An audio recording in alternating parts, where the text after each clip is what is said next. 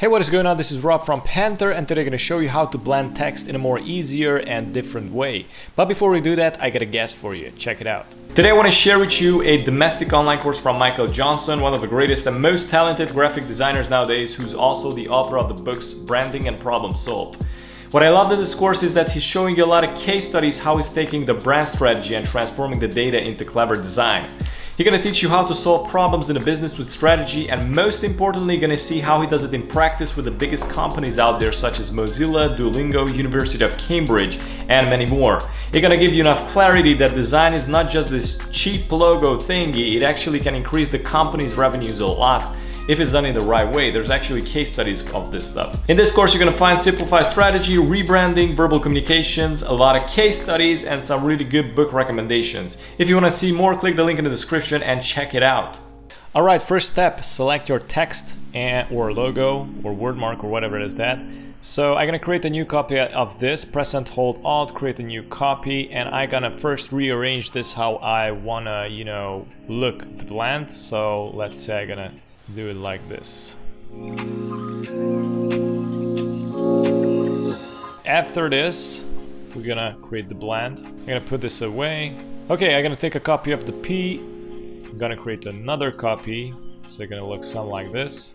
Um, and the main idea is to work with the stroke because this is this is a stroke blend. So this is the fill. I'm gonna go to the stroke, select the black color, go back, and select one of the P's and put some color on the fill, not on the stroke. So I'm gonna go here, I'm gonna select, let's say, I don't know, cyan.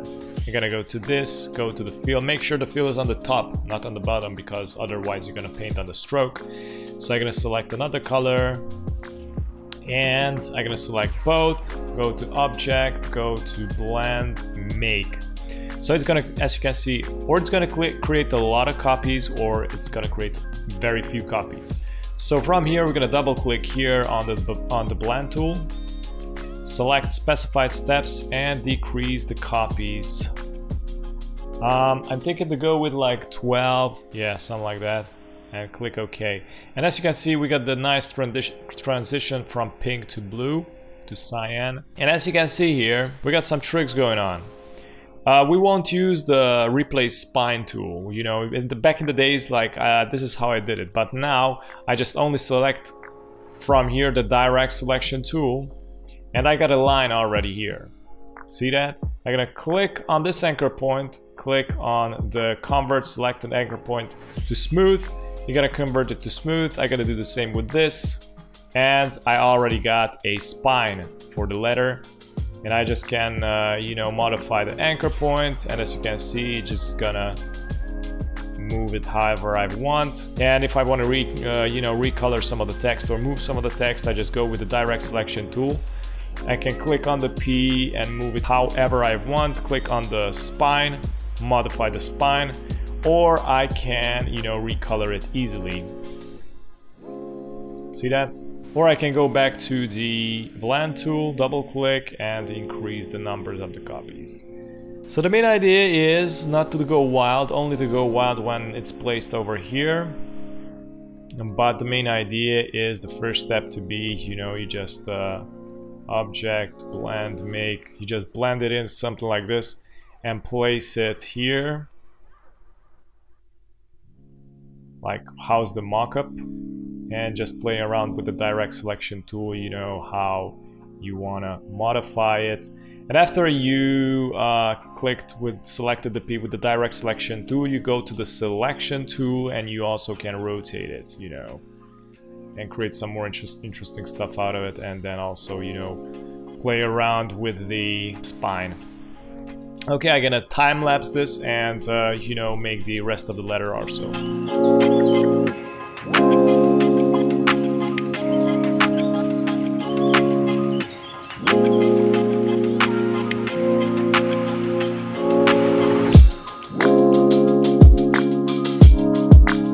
Okay, another very important thing. If you can see the N is on the top and the A was also on the top. So we need to put this in the back. So I'm gonna select not only the N, but the, you know, the bottom and also the mockup, the template M. So I'm gonna select both, right click, arrange, and send to back. As you can see, this way it's to send it to back and you can modify it however you want. And basically this is how you can bounce around. For example, the A is on the top of the N. If I pull this, the P is on the top of the A and N. And if you want to move it, for example, the A to B under the N, you can right click, arrange, and you know, send to back again, or you can do it vice versa, you know, put it to the front. But yeah, mainly arrange, bring to front, bring forward, backwards. You know, these are basically the options how you can move the layers, you know, which one to be on the top or bottom.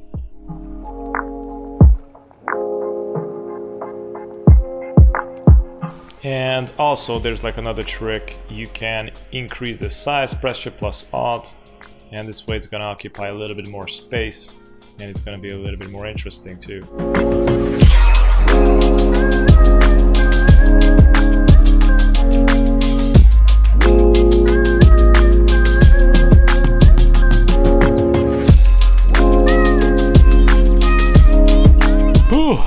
Mainly this is how you achieve this trick. It was super fun. Uh, this effect is uh, really interesting. Uh, I got inspired from somewhere. I saw somewhere this and I said like let me try this out. It's really dope. And yeah, this is it. Thank you so much for watching. And if you're new on the channel, don't forget to subscribe and hit the notification bell so you get notified with daily updates. And also check out the rest of the videos and have a good one. Bye bye.